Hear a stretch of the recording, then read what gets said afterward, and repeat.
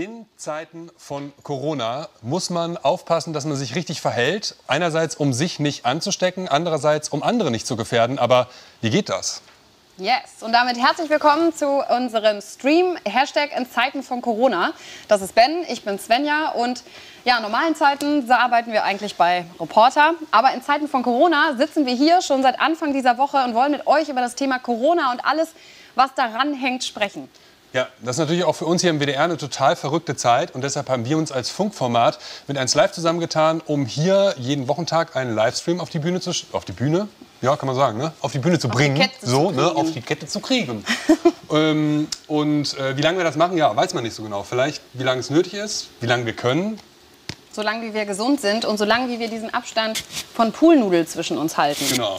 Äh, Seit Anfang der Woche haben wir in jeder Sendung auch ein Oberthema. Das haben wir auch heute. Es geht heute darum, wie kann ich mich und auch andere in Zeiten von Corona schützen. Und da muss ich ganz ehrlich sagen, Stay the fuck home. Also dieser Hashtag, der gibt's, den gibt es gerade überall im Netz. Den habt ihr mit Sicherheit auch schon gesehen. Und ganz ehrlich, kann doch nicht sein, dass die Parks und die ganzen Wiesen immer noch voll sind. Ihr möglicherweise sogar aus der gleichen Bierflasche trinkt. Das ist echt kacke. Wir sollten darauf achten, dass dieser Virus nicht so schnell verbreitet wird. Und deswegen bleibt einfach zu Hause. Tatsächlich haben sich auch ganz viele schon gemeldet mit Ja. solchen Kommentaren. Zum Beispiel hat äh, Schmidt auf dem YouTube-Kanal von uns bei Reporter geschrieben, es ärgert ihn total, dass es anscheinend die Leute immer noch nicht kapieren, in den Eiscafés sitzen. Und er sagt, ey Leute, das gerade ist äh, keine, kein Urlaub, das ist eine Auszeit und wir sollten versuchen, den Virus zu bremsen. Ja, dass das offenbar nicht alle verstehen, dafür haben wir einen Videobeweis. Äh, den zeigen wir euch jetzt mal. Das ist äh, am Düsseldorfer Hafen gestern gewesen. Und äh, ja, da feiern alle fröhlich äh, das gute Wetter. Das ist natürlich auch irgendwie verständlich, dass es einen da rauszieht. Aber das ist wirklich gerade in den aktuellen Zeiten wahnsinnig unvernünftig. Und das sollten wir so nicht machen. Ja, Social, ähm, Social Distancing Social sieht Distancing. anders aus. Genau, das sieht so aus, wie wir das hier machen. Äh, aber so nicht. Genau. Wenn ihr Fragen zu diesem Thema habt, ähm, also wenn es darum geht, um Ansteckung, um Infektion oder wie ihr euch besser schützen könnt, dann schickt uns die. Gerade heute. Es wäre cool, wir können nämlich nicht immer alles beantworten, wenn ihr eure Fragen zu diesem Thema schickt. Wir haben auch eine Expertin heute da, Lisa Weitemeier. Sie arbeitet bei Quarks und ist Wissenschaftsjournalistin. Also schickt uns die Fragen, wir versuchen die dann nachher mit Lisa zu beantworten. Aber jetzt holen wir uns erstmal den aktuellen Stand der Nachrichtenlage ab. Von unserem Lieblingskollegen Jan. Genau. Die, die den Livestream hin und wieder sehen, die wissen ganz genau, wer jetzt kommt. Hallo, schönen guten Tag. hallo Jan. Hi. Na, also, ich habe was vorbereitet. Ja, Ähm, ich auch. Der eine oder andere hat sich wahrscheinlich schon gefragt, gestern Abend auf der Couch, als er vielleicht die neue Serie gesuchtet hat. Irgendwie war die Quali ein bisschen schlecht. Ich hatte das tatsächlich auch, den Fall. Woran liegt's? Also es ist so, dass momentan das Netz ähm, ein bisschen höher frequentiert wird als sonst. Also äh, wir hängen ja jetzt ähm, häufiger zu Hause ab. Ähm, wahrscheinlich und ähm, besten Fall. telefonieren mehr, chatten mehr, streamen mehr etc. pp. Und ich wollte ihm mal hinterhergehen und habe mal ein paar angerufen, unter anderem die Bundesnetzagentur. Das ist quasi vom Staat aus die Institution, die das ganze Netz so quasi vergibt und unter Kontrolle hat. Und die haben gesagt, eigentlich können sie noch nicht so richtig erkennen, dass der Anstieg äh, höher geworden ist. Und auch wenn es so ist, das Netz ist stabil. Sind ja alle in den Parks, dachte ich gerade. Das Netz ist auf jeden Fall stabil und die sind auch ähm, in ständigem Kontakt mit Anbietern, ähm, wie zum Beispiel Telekom, Vodafone oder Telefonica. Das ist ja O2. Das sind die drei großen, die sich ja quasi das Mobilnetz aufteilen in Ja. Deutschland. Und die sagen, das ist alles safe und alles easy. Und wenn da jetzt mal ein bisschen was passiert, dann könnte das eher eigentlich an deiner Internetverbindung äh, hängen, als dass es gerade mit der Situation zu tun hat. Es kann sein, dass das jetzt ansteigt, weiß man aber nicht. Äh, Ich habe noch mit der Telekom gesprochen, ähm, als größter Netzanbieter. Und die sagen auch, ähm, das Netz ist gut ausgelastet, aber nichts jetzt größer als sonst. Und selbst wenn, hat zum Beispiel die Telekom und dann auch die ganzen anderen haben Notfallpläne und auch selber Pandemiepläne. Also die haben Pläne für den Katastrophenfall, weil die sind ja auch ähm, vom Staat verpflichtet, auch ähm, das ähm, Telekommunikationsnetz und das Internetnetz ja quasi äh, im, im Betrieb zu halten. Und die Bundesnetzagentur hat auch wieder gesagt, selbst wenn der Fall eintreten würde, dass es zu viel wird, greifen die eh ein und werden ein bisschen äh, einschränken müssen, damit also alle Telefonnetze etc. pp. Ähm, funktionieren. Ja, ist doch schön. Wenn wenigstens in diesen Zeiten dann was versucht wird für, unsere, für unser Netz, sage ich mal. Ähm, wahrscheinlich hat der ein oder andere es auch gesehen. Ähm, mir wurden immer wieder krasse Fotos im, ähm, bei Instagram zum Beispiel angezeigt von überfüllten Flughäfen, auch gerade in Frankfurt. Da kommen gerade alle an, die von der Rückholaktion von Mars zurückgeholt wurden. Was sagst du dazu? Wie wird es in den nächsten Tagen aussehen? Ja, die Rückholaktionen, die sind ja gerade, ähm, passieren da gerade. Ähm, und ähm, das wird auch noch was dauern, bis man die alle zurückgeholt hat. Es gibt auch noch einzelne reguläre Flüge aus einzelnen Flughäfen, die auch noch zurückgehen. Ähm, die, da bleibt man auch bei, also Eurowings oder Ryanair, Lufthansa, wie sie alle heißen. Allerdings ist es auch so, dass die jetzt auch den Flugverkehr mehrheitlich einstellen. So Lufthansa zum Beispiel hat 95 Prozent aller Flüge gestrichen. Ähm, Ryanair fliegt nur noch 20 Prozent ihrer Kapazität Krass. und wird ab Dienstag auch nochmal nur auf die essentiellen Verbindungen runtergehen. Also wo man wirklich ähm, Leute von A nach B bringen muss oder auch vielleicht nochmal aushelfen muss, um Güter, äh, also irgendwelche Waren von A nach B zu bringen. Ähm, auf jeden Fall ist es so, dass äh, jetzt noch einige Sonderflüge ja gestartet werden. Es gibt auch noch ein Sonderflugangebot von Einzelnen. Das kostet dann zwar was, ähm, aber ähm, so wird zumindest garantiert, dass man zurückkommt. Flughäfen, wie auch zum Beispiel auf Mallorca, sind eigentlich Geisterflughäfen, außer es ist gerade was los. Das ist, das ist wirklich crazy. Ja, und dann, äh, und dann wird aber noch kontrolliert. Ne? Es, gibt viel, es gibt noch mehr Kontrollen. Es kann zu längeren Schlangen kommen, aber das ist alles eher nur, weil man einfach jetzt etwas krasser kontrolliert als sonst. Ja. ja, und das wird sich wahrscheinlich noch die nächsten Tage so ziehen, aber ab nächste Woche wird auf jeden Fall der Flugverkehr noch drastischer reduziert. Ja, Jan, sag mal, ich habe jetzt gehört, es soll auch irgendwie Neuigkeiten bezüglich des Impfstoffs geben. Was weißt du da genaues? Ja, also es ist auf jeden Fall ja so, dass einige forschen, aber eine, die da ganz vorne mit dabei sind, ist die Firma CureVac in mhm. Tübingen. Das ist ein ja, Arzneimittel- und Medizinhersteller. Und die forschen da äh, schon seit ähm, Wochen dran und die haben jetzt gesagt, dass es ganz gut aussieht, dass sie jetzt bald mit ähm, ja, letztendlich Tierversuchen erstmal anfangen müssen und dann ähm, ab spät Frühjahr, Anfang Sommer mit Menschen auch das testen werden. Das ist ein ganz normaler Prozess, dass man sowas erst mit Tieren testet und dann mit Menschen. Mhm. Und dann hoffen die, dass sie im Sommer oder Herbst diesen Impfstoff dann auf dem Markt haben und das könnte das dann alles halt, ja, diese ganze Pandemie im Endeffekt dann eindampfen. Ja, ich würde sagen, wir drücken die Daumen den Menschen, die da forschen. Ich danke dir für die Informationen. Und Informationen sind ein ganz gutes Stichwort, denn wir merken an euren Fragen und an euren Kommentaren, dass Informationen, vor allem irgendwie halbwegs gesicherte Informationen, euch total wichtig sind und irgendwie das sind, was gerade alle in diesen unsicheren Zeiten brauchen. Und deswegen haben wir jetzt Lisa Weitemeyer eingeladen. Die ist aus der Wissenschaftsredaktion äh, vom WDR und wir gehen jetzt mal rüber an unseren Screen und unterhalten uns über eine Frage, die, glaube ich, gerade allen auf, dem, auf, auf den Nägeln, bei, unter den Nägeln brennt, Lisa. Und zwar, wir haben jetzt gerade diese Maßnahmen und ich glaube, wir merken die alle, die sind besonders krass. Äh, uns hat uns äh, zum Beispiel auch ähm, HK wurde gefragt, ne, wie lange müssen wir die Maßnahmen noch, noch, durchziehen? Das ist ja auch so ein bisschen die Frage, bringt das schon was? Mhm.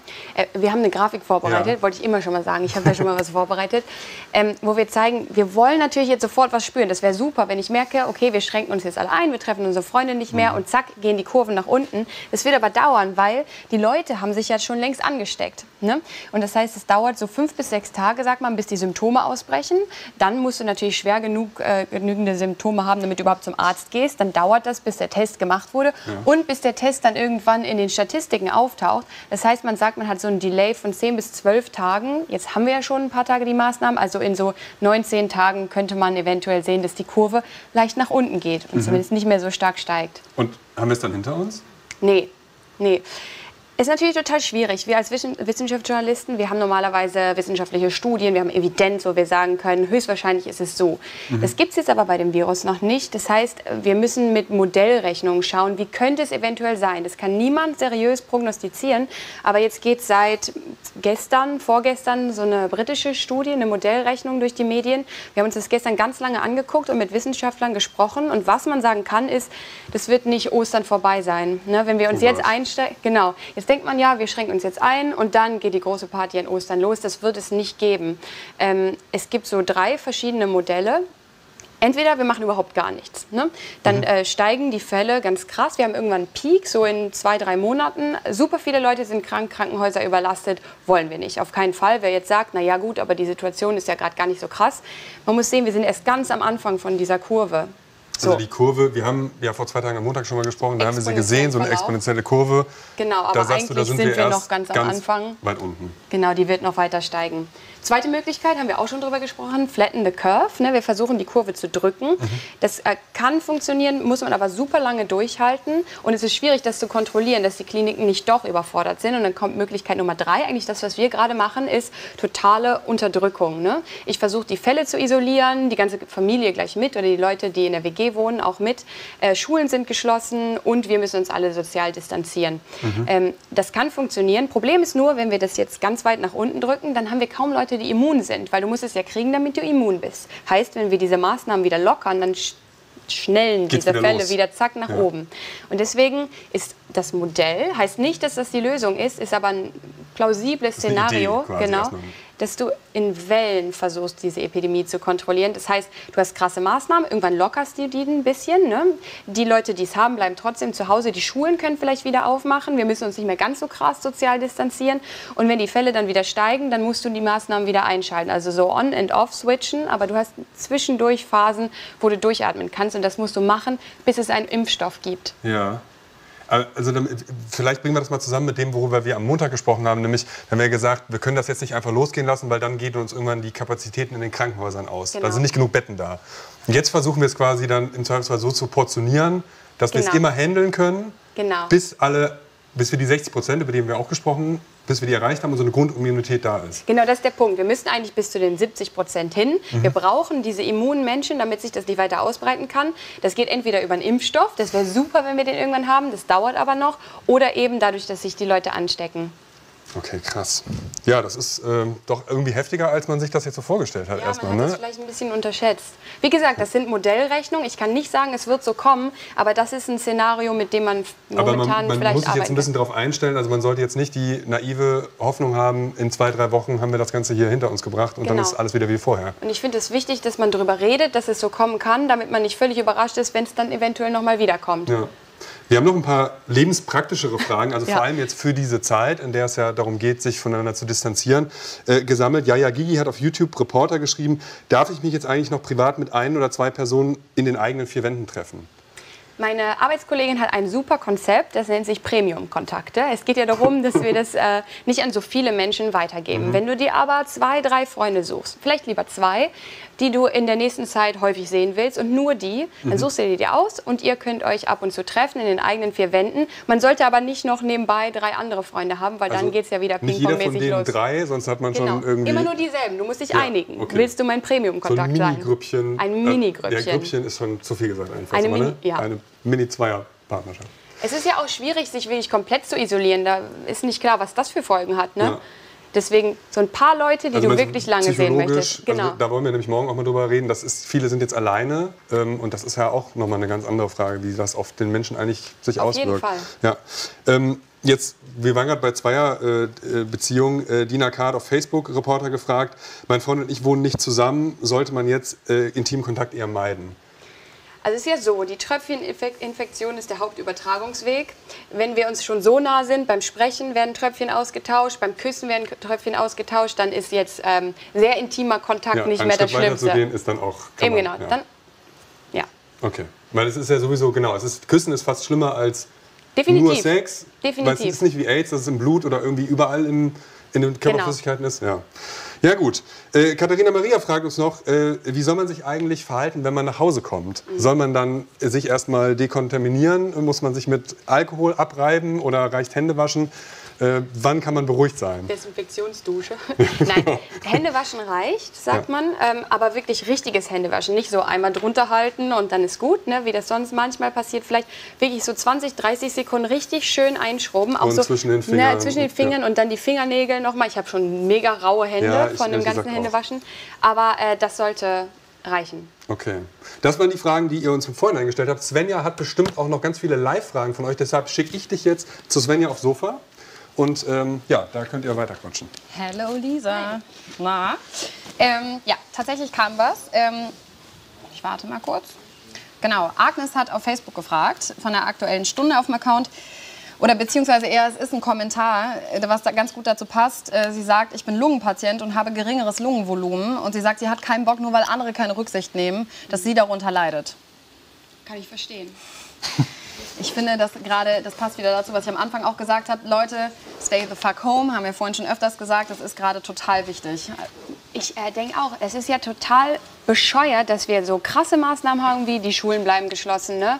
Ähm, super viele Cafés sind zu, das hat ja krasse wir wirtschaftliche Folgen. Und dann gehen die Leute trotzdem raus. Es ist einfach nicht sinnvoll, es ist total blöd, muss man so sagen. Und so wird es nicht funktionieren. Ja, total. Das passt auch dazu. Mustafa hat uns geschrieben auf YouTube, ey Leute, wann kommt eigentlich endlich die Ausgangssperre? Ich habe das Gefühl, dass gerade im Netz auch so ein bisschen das umkippt und ganz viele sagen, hey Leute, wie wäre es, wenn wir eigentlich die Ausgangssperre kriegen? Es wäre gar nicht so schlecht. Mhm. Ähm, Alice hat auch geschrieben auf YouTube, sehe das wie du. Der Shutdown wird langsam Zeit. Die Leute begreifen es einfach nicht. So als ähm, Erziehungsmaßnahme, ne? dass man äh, versteht, was es bedeutet und dass man sich wirklich daran halten sollte. Ich bin kein großer Fan der Ausgangssperre, aber wenn die Leute sich trotzdem draußen alle weiter treffen, dann bringen die ganzen Maßnahmen nichts. Ich glaube, früher, das, ja, aber das sind jetzt nur Mutmaßungen. Ähm, auf dem YouTube-Kanal von Reporter hat uns Amanda auch gefragt, wieso gibt es so wenige Zahlen von Genesenen? Liegt es daran, dass die Erkrankten nach der Genesung dann nicht mehr getestet werden? Es gibt ja schon Zahlen von Genesenen, die werden nur häufig nicht transportiert. Mhm. Okay. Und das dauert natürlich ein bisschen, bis das Virus nicht mehr nachweisbar ist. Aber es gibt ja so super schöne Grafiken, wo man sieht, wie viele sind gerade infiziert, wie viele sind gestorben und wie viele sind genesen. Das dauert natürlich ein bisschen, bis die Krankheit ausgestanden ist, aber dann werden diese Zahlen auf jeden Fall angezeigt. Mhm. Auf der YouTube-Seite von 1 Live hat uns auch jemand geschrieben, Daniel, er fragt, wann steigt die Anzahl der Gehaltenen in Deutschland endlich? Ja, das dauert natürlich ein bisschen. Das ist dieser Delay, mit von, dieser Verzug, von mhm. dem wir vorhin gesprochen haben. Ne? Es dauert, bis man getestet ist und äh, bis diese Ergebnisse dann in die Statistiken eingegangen sind. Das dauert ja auch wieder ein bisschen. Ne? Die Krankheit ja. muss ja erstmal einmal durch sein. Wir sind ja noch ganz am Anfang. das stimmt. ähm, dann kursieren gerade auf WhatsApp ganz viele Fake News. Du hast bestimmt auch schon mitbekommen. Zum Beispiel dieser Corona-Selbsttest. Zehn Minuten Luft anhalten und du weißt, ob du Corona hast oder nicht. Was sagst du dazu? Wenn es so einfach wäre, wäre toll. Aber es ist totaler Schwachsinn, ähm, weil das Virus ist ja nicht unbedingt in der Lunge. Der Sinn dahinter, laut dieser WhatsApp-Nachricht, ist ja, äh, wenn du die Luft anhältst und dann nicht husten musst, dann weißt du, deine Lunge ist nicht angegriffen. Aber das Virus kann sich ja auch hier oben vermehren. Ähm, deswegen verbreitet sich das auch so schnell im Rachenraum. Das heißt, es muss gar nicht bis in die Lunge gehen. Manche Leute haben hier nur Halskratzen oder Husten, dann ist es vielleicht wirklich nur hier oben. Die haben gar nicht diese krassen Folgen wie eine Lungenentzündung. Und deswegen ist das Schwachsinn, Richtig testen. Sehr gut, sehr gut. Und, und, jemand hat auch geschrieben, regelmäßig Wasser trinken, das spült anscheinend die äh, Viren weg. Was? Genauso Schwachsinn. Es, äh, die WHO hat dann nochmal eine Erklärung zugeschrieben, dass das keine richtige Maßnahme ist. Die Idee ist ja, das wird feucht und dann, wenn du viel trinkst, dann spülst du die Viren äh, durch die äh, Speiseröhre zur Magensäure und die killt die dann. Funktioniert nicht, auch nicht mit Alkohol, habe ich gehört. Sehr gut. Lisa, vielen, vielen Dank, dass du Gerne. heute wieder bei uns warst. Das hilft total. Ich glaube auch für euch ist total gut, dass wir jemanden haben, der das wissenschaftlich einschätzen kann. Bleib gesund, damit du uns noch erhalten wirst für die nächsten Wochen. Ihr auch. Ja, danke dir. Wenn ihr gerade eingeschaltet habt und euch fragt, was sehe ich hier gerade, ihr seht den äh, Livestream in Zeiten von Corona und äh, wir haben uns hier zusammengetan, um euch jeden Tag die aktuellen Informationen und möglichst viel gesicherte Informationen zu geben, eure Fragen zu beantworten. Und äh, als nächstes werden wir hier im Livestream ähm, mit einem Menschen skypen. Ist der denn schon in der Schalte drin? Dann gehen wir nämlich jetzt rüber zu Svenja. Yeah! Ich stecke mir jetzt gerade mal ne? meinen klugen Klopf, äh, Knopf ins Ohr. Ich sehe sie da schon. Super, danke. Ah, ich höre sie schon. Danke. Genau, Ben hat es gerade schon gesagt. Äh, wir haben einen Gast in der Leitung bei Skype. Ihr seht ihn bestimmt auch schon unten rechts. Genau, Hallo. das ist Tane. Hi, Tane. Hi. Tane, ähm, kommt aus Heinsberg. Das ist ja, ich sag mal, das ist ja so ein bisschen das Epizentrum gerade aus der Corona-Krise. Ich weiß nicht, ob der Witz jetzt so gelungen ist, aber kann man in der Zeit in der wir aktuell sind, überhaupt noch Witze machen über dieses Thema? Ist Humor erlaubt? Also ich finde, Humor ist ganz, ganz wichtig, auch gerade in Zeiten von Krisen. Es ist natürlich ein wahnsinnig heikles Thema und das ist immer so bei Humor. Je heikler das Thema ist, desto schwieriger ist es da, ähm, Humor einzusetzen. Äh, ich glaube, was, was immer gilt, ist tatsächlich, wie das persönlich für einen ist, ähm, weil Humor ist natürlich was super Subjektives. Entweder lacht man drüber oder nicht. Das heißt, fühle ich mich jetzt persönlich angegriffen von einem Witz oder eben nicht. Ähm, aber ich glaube, bei dem Thema ist vor allen Dingen auch wichtig, dass man das in der Basis schon ernst nimmt. Also wenn man das jetzt nicht ernst nimmt, dann hat man nicht mehr alle Latten am Zaun. Ne? Also das finde ich, find ich schon. Ich muss aber auch ganz ehrlich sagen, ich habe vor zwei Wochen auch noch ähm, anders auf das Thema reagiert als jetzt, ne? weil ja, es gab so einen krassen Switch in, also vor einer Woche ungefähr, ne? weil vor einer Woche hatte ich so meinen letzten Live-Auftritt und danach ist es so gekippt und da hat man auch richtig gemerkt, dass es ähm, in der Bevölkerung angekommen ist, auch bei mir ehrlich gesagt, ne? weil vorher habe ich gedacht, ach komm, wir sind in Deutschland, wir haben ein wahnsinnig gutes Gesundheitssystem, das war alles noch super weit weg und ähm, jetzt gibt es diesen Knick. Und ohne Witz, ich habe ja auch jetzt euren Livestream verfolgt. Und auch als ich einkaufen war, ne, die, die Leute ey, feiern eine Party hier in Köln, wo ich mir denke, sag mal, seid ihr eigentlich total bescheuert? Ja. Also wie geht das? Ich verstehe das nicht. Also ich bin jetzt auch seit einer Woche zu Hause und äh, alleine Rewe, da fühle ich mich schon unwohl. Ne? Ich bin auch ein totaler Hypochonder. Und wenn ich einkaufen gehe, ich finde das super unangenehm. Hypochonder in diesen Zeiten ist nicht gut. Aber ja. diesen Switch ja. von letzter Woche, den fühle ich total. Ja. Ging mir genauso wie dir. Ich hatte vorher auch Witze gemacht, aber jetzt hm, schäme ich ein bisschen für das, was ich letzte Woche, Anfang der Woche noch gesagt habe. Ja. Ja, und stimmt auf jeden Fall auch das, was du sagst, dass man das Gefühl hat, ganz viele Leute nehmen es irgendwie noch nicht ernst genug. Äh, auf der anderen Seite, ne, dein Metier ist Humor. Würdest du denn sagen, es macht vielleicht auch einen Unterschied, ob man jetzt Witze über die Krankheit macht oder über die Situation, in der wir alle stecken? Und kann das vielleicht sogar helfen? Ja, also wie gesagt, ich finde Humor generell super witzig, äh, wichtig und ähm, es kommt auf den Humor auch ähm, es, äh, es kommt auf die auf den äh, ja auf die Sachlage an, glaube ich. Ne? Also in welchem Kontext findet das statt? Sage ich das gerade unter Freunden und sind wir alle auf einer Meinung, also auf einer Ebene und sind wir der gleichen Meinung, was das Thema angeht? Ne? Weil wie, wie ich eben schon gesagt habe, ich glaube, ähm, wichtig ist, dass man es in der Basis ernst nimmt und wenn man aber bestimmte Witze macht, ich habe letztens auch ein Foto gepostet. Ich persönlich fand das das einfach an sich witzig. Da stand nämlich irgendwie in Zeiten jetzt ähm, der Corona-Krise musste das, die Biermarke Corona hat jetzt ihre Marke ge geändert, nicht mehr Corona extra, sondern in Ebola, Ebola ne? extra. Ne? Ja. Ne? Genau. Und ich fand es auch lustig in dem Moment, wo ich es gesehen habe. Das heißt ja nicht, dass ich automatisch dann das Thema nicht mehr ernst nehme. Ja. So. Ja, ja, ja, absolut. Also ich ich finde auch, also auch die ganzen Klopapierwitze, die man jetzt hört, äh, die sind ja auch irgendwie witzig. Wobei ich es auf der anderen Seite schon fast nicht mehr lustig finde. Mir geht nämlich bald das Klopapier zu Hause aus und ich werde und? mich nicht trauen, Neues zu kaufen. Da muss man gucken, ich, wie ich seit zwei Wochen. Help Ben, er braucht Klopapier. Ja. Ja, aber die Leute drehen ja auch komplett durch. Ne? Also ich habe auch echt ein Video gesehen, das war eigentlich nicht witzig, weil es eine ernste Situation war. Weil da haben sich so drei Herberts bei DM irgendwie um einen ganzen Wagen Klopapier richtig gestritten und die haben fast eine Schlägerei angefangen mit der Mitarbeiterin von DM, die dann gesagt hat, das ist ja eine Rolle pro Haushalt. Und dann haben die gesagt, das ist aber meine Rolle, ich will die Rolle haben. Und dann haben oh sie sich zehn Minuten übelst angefahren, bis sie halt ihr Hausrecht durchgekriegt hat und gesagt hat, passen Sie auf, entweder verlassen Sie jetzt den Laden oder Sie nehmen eine Rolle mit. Und das ist schon irgendwo, also da, da kann man, das kann man nicht mehr ernst nehmen, was hier gerade passiert. Ne? Und, und das finde ich dann auch so lustig, wenn man dann sieht, irgendwie in Italien sind die Kondome ausverkauft, in Deutschland das Klopapier. Ja, Prost. Ja, ja. Also. Genau, das haben wir diese, ich glaube in Frankreich war es auch der Rotwein. Das habe ich diese Woche auch ja, gesagt. Ich meinte, Leute, gesagt. ey, wie traurig, in äh, Frankreich ist das ausverkauft, bei uns Klopapier. Schön, was das über unsere Gesellschaft sagt. Ja, voll. Aber ich habe auch schon ich hab Videos bekommen von Freunden, die so äh, auf WhatsApp Klopapier verbrannt haben und gesagt haben, hier, eure Armut kotzt mich an. Fand ich auch ganz lustig, ehrlich gesagt. haben wir denn schon Fragen aus der Community eigentlich? Nee, Fragen tatsächlich noch nicht. Aber ähm, uns hat jemand bei ähm, YouTube Reporter geschrieben, Humor ist immer wichtig, aber bitte mit Rücksicht und mit Herz. Ja, da, was sagst du dazu? Ja, absolut. Also ähm, ein toller Kollege von mir, der Mickey Beisenherz, hat auch geschrieben, wer ähm, in, jetzt in der Zeit befindet, dass Humor nicht angebracht ist, der hat den Ernst der Lage nicht verstanden. Und das fand ich äh, perfekt. Also es fasst eigentlich die Satz, ganze ja. Situation total zusammen. Ja. Voll. Uns hat auch noch jemand geschrieben, dass in diesen Zeiten auf jeden Fall Respekt angesagt ist. Und um ehrlich zu sein, glaube ich, das passt auch gut mit dem Humor zusammen. Solange man respektvoll ist und das auch zwischendurch mal mit einem Witz verpacken kann, ist es, glaube ich, genau richtig. Ja, was wir uns jetzt überlegt haben, zum Beispiel ein, auch ein toller Kollege, der Oliver Polak, hat jetzt überlegt, was machen wir, weil wir Künstler sind ja eigentlich genau darauf angewiesen, dass wir in großen Menschenmengen unterwegs sind und dass ähm, Veranstaltungen stattfinden. Und wir sitzen ja jetzt auch alle zu Hause. Und äh, dank Social Media hat äh, der Olli Polak sich jetzt überlegt, wir gründen den ersten Corona Comedy Club.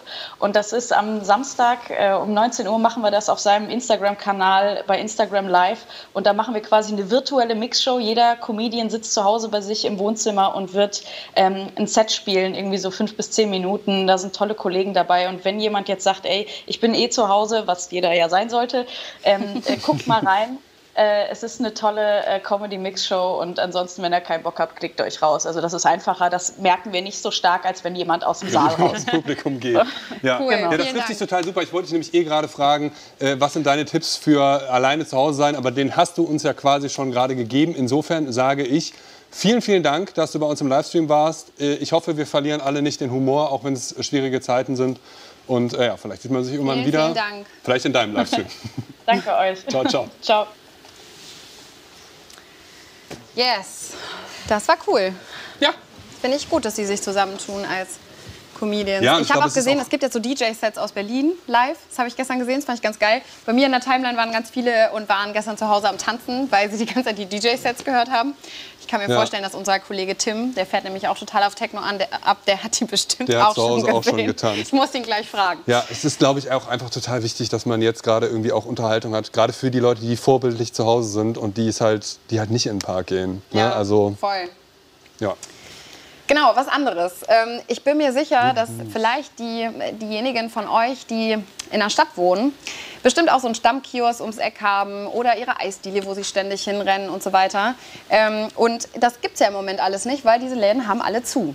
Und deshalb wäre es doch eigentlich cool, wenn wir jetzt nicht anfangen, ständig nur bei Lieferando zu bestellen oder bei irgendwelchen Lieferservicen und so weiter oder bei Amazon das Buch zu bestellen, sondern vielleicht Hashtag Support Your Locals einfach mal bei der Buchhandlung nebenan oder bei der Eisdiele nebenan, weil die überlegen sich gerade was und werden kreativ und das würde ich euch gerne einmal kurz zeigen. Hier gibt es zum Beispiel einen Post von einer Eisdiele, total nett, und die liefern euch das Eis nach Hause. Wie wäre es damit? Finde ich ganz cool. Eis könnte ich jetzt auch vertragen. Ja, könnte ich auch vertragen. Aber einen Cocktail könnte ich jetzt auch vertragen in Zeiten von Corona. Deswegen genau hier, wie ihr seht. Eine Cocktailbar hat sich überlegt, ey Mann, wir dürfen ja nicht mehr öffnen, deswegen liefern wir den Cocktail nach Hause. Also Leute, so kann man sich die Zeit auch vertreiben. Ja, wenn ihr jetzt zu Hause sitzt und total kreativ seid, weil ihr irgendwie viel Zeit zum Nachdenken habt und geile Ideen habt, was könnte man eigentlich jetzt an Apps oder digitalen Produkten äh, erstellen, die jetzt in der aktuellen, äh, aktuellen Situation helfen. Zum Beispiel, dass Lehrer äh, mit ihren Schülern interagieren können, jetzt wo die Schule nicht mehr da ist. Ihr aber gleichzeitig gar keine Ahnung von Programmierung habt, dann hat die Bundesregierung of all people tatsächlich was für euch ganz spontan auf die Beine gestellt. Und zwar einen sogenannten Hackathon. Da kommen Programmierer und Menschen mit guten Ideen zusammen und entwickeln geile Apps, geile Ideen, um uns jetzt in dieser äh, verrückten Situation weiterzubringen. Äh, wenn ihr euch da bewerben wollt, dann schaut mal bei uns in die Infobox. Da gibt es alle Informationen dazu. Das kann man bis morgen Freitag äh, noch machen. Also ich würde sagen, nutzt die Zeit zu Hause, seid kreativ und stellt was auf die Beine, das uns allen hilft. Yes. Damit wären wir schon am Ende. Ich finde es ein bisschen traurig. Ja. Ich kriege hier die ganze Zeit weiterhin Kommentare, dass wir den Abstand nicht einhalten, Ben. Ja, Also Leute, ja, wir die Poolnudel, wir haben sie im Blick. Wir versuchen diesen Abstand einzuhalten. Ben, ich finde es aber auch gut, dass ihr alle so vorbildlich darauf achtet, dass Ja, wir das tun. ich auch. Ben, uns schreiben auch die ganze Zeit Leute, dass sie es cool finden, dass sie uns zu Hause neben sich beim Kochen liegen haben und uns zuhören. Das freut uns total. Das ist total süß. Und uns schreibt hier auch jemand, das finde ich ganz witzig. Ähm, Mariola schreibt bei äh, Facebook WDR aktuell, ey, ich habe einen Hund, kann ich jetzt nicht mehr rausgehen mit dem Gassi gehen? Doch, kannst du. aber alleine. Genau, alleine. Äh, und ich meine, dein Hund kann es, soweit man weiß, nicht kriegen. So, ähm, und außerdem ist er eh bei dir in der Wohnung. Also warum sollte man nicht mit dem Hund rausgehen? Ja, nö, sehe ich jetzt auch kein Problem. Genau. Na gut, also wir würden uns total freuen, wenn ihr uns Feedback schickt, weil wir sind jetzt schon vier Tage dran und wir wollen natürlich gerne besser werden. Und uns interessiert natürlich auch, was euch interessiert. Also worüber sollen wir vielleicht nächste Woche sprechen? Schickt uns das gerne mal. Ja, ich bin ein bisschen traurig. Für mich war das nämlich jetzt erstmal der äh, letzte Livestream. Morgen kommt mein lieber Kollege Tim hier an meiner Stadt. Ähm, und äh, ein Hinweis äh, von mir noch, äh, wenn wir morgen, nein, andersrum. So, morgen reden wir über Einsamkeit, Alleinsein. Alleinsein. Wir reden morgen über Alleinsein hier im Stream. Da könnt ihr gleich, wenn das YouTube-Video äh, online ist, auch schon Fragen stellen, Kommentare stellen.